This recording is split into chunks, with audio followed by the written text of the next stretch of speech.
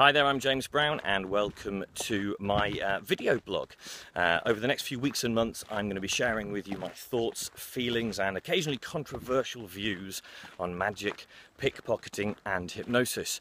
Uh, for this very first one I just want to start by talking about hypnosis in a very broad sense. You see, my problem with hypnosis has always been in the process. This idea of a, a collection of rules, regulations, and limitations that tell me, you know, how hypnosis works and what I need to do to achieve hypnosis. And growing up and learning about hypnosis from, you know, textbooks, uh, uh, you know, later on YouTube, if I'm entirely honest, uh, gave me the opportunity to see a lot of different skills out there from a lot of different people. But I, I realised that I didn't believe in the process. In fact, I, have never really believed in the process. This idea that we're inducing something, that there is almost an undertone of, of something magical going on. You know, a lot of people believe that the, the process itself is what's doing it. You know, I need to uh, I need to induce hypnosis, and to induce hypnosis, I need to have, uh, you know, this this moment of pattern interruption where I bypass the critical faculty and I speak to the unconscious mind. It all sounds. It all sounds a little airy fairy, doesn't it? Let's be honest with ourselves. It all sounds a little bit magical, a little bit mystical. You know, trying to give rhyme and reason to something that, when explained in those terms, just doesn't seem to make sense.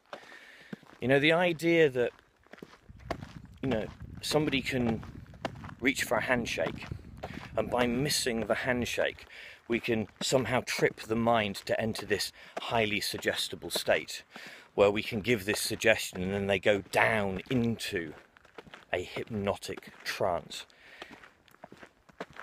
I mean, I'm, I've made up rubbish for a living as a, as a magician, and, and if I'm honest, that this all kind of sounds a little bit like the yarn that a magician would spin, or at least an entertainer would spin.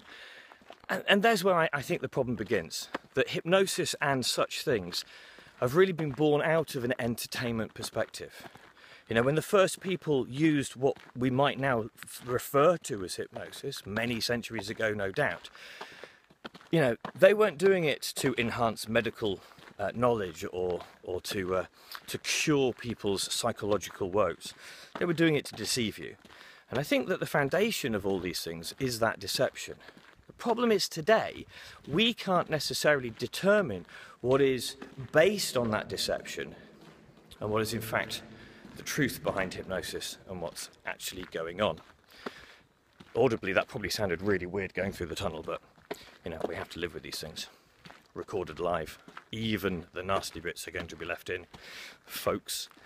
So, lost my train of thought as well.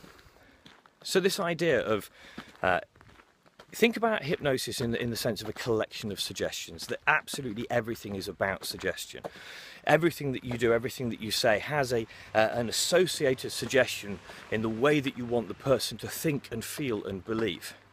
So if you look at it from that point of view and think that your job is about giving good suggestion, and that obviously has to include uh, the rapport that you've built, the intent, the expectancy, all of that is part and parcel of giving good suggestion that you now engage their imagination. You encourage them not to just think about what you said, but to, to feel it, to experience it completely. And if they are experiencing it completely, then to allow their imagination to turn that experience into something that happens to them. And here's the real key. I suggest that all hypnosis is simply the, the, the subject acting, pretending to do or be something but they perceive it as happening to them. Think about it like somebody with a phobia, uh, like spider phobia. You know, the person, their muscles tense up, they feel sick, they jump on a chair, they scream. They, they experience it as if it's out of their control, as if it's happening to them and beyond their will. But who else is doing it if it's not them? You see what I'm saying? They're, they're doing it themselves, but they are perceiving it to happen to them. And I would suggest this is all that's going on in hypnosis. A suggestion is given, the imagination is, is allowed to bloom and blossom, and a belief takes place that the person thinks to themselves, I can't do anything about this. It is happening to, to, to me, it is against my will. And now you have a phenomena of hypnosis. And if you think about it from a therapy point of view, that's where the, the client is already a lot of the time.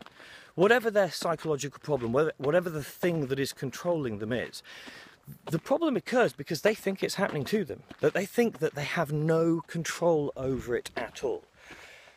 So here's the irony if you're a therapist, you want to take what they are doing to themselves, but thinking it's happening to them, and you want to give them the power and the control back. If you're doing it for entertainment, you want to paint a nice picture that allows their imagination to create that automation for them. And once they believe it, once they accept it as true, it will be their reality. No process, no need for anything else. Now you can spend your time thinking about how you can encourage their imagination. What do I say? How do I say it? Let's use all my communication skills. Let me use my, my vo voice tone, my, uh, my language itself uh, everything I can to create belief for that person. And if that's what you're doing, be really careful about this ambiguous language and this clever um, sort of uh, acrobatic language stuff that a lot of hypnotists do these days. The whole point of this is it's got to be something that the person can understand so you can fuel their imagination and their mind's automation of their imagination, which ain't going to happen if they don't know what you're talking about. So be real cautious. What I'm suggesting is freedom. Freedom from having to follow rules and restrictions and formula. Freedom to focus on the customer, focus on the client. You know, use your skills to, to enhance their imagination. You don't need all of this process. The person doesn't need to close their eyes if you don't want them to. They certainly don't need to, to feel in a weird hypnotic state and freak out. You can choose how that person responds to your suggestion. And I tell you this, from personal experience, there is nothing that can't be done with a person's eyes wide open, feeling totally normal, yet following your instructions to the letter, that can be done with somebody who is in a trance-like state. Okay? Um, rambling over, uh, I've got other things to talk to you about. Uh, I've got other places to walk. I've got other scenery to show you. Uh, but for now, uh, thank you for listening. Uh, be life, be love, and be free. And until next time, cheerio.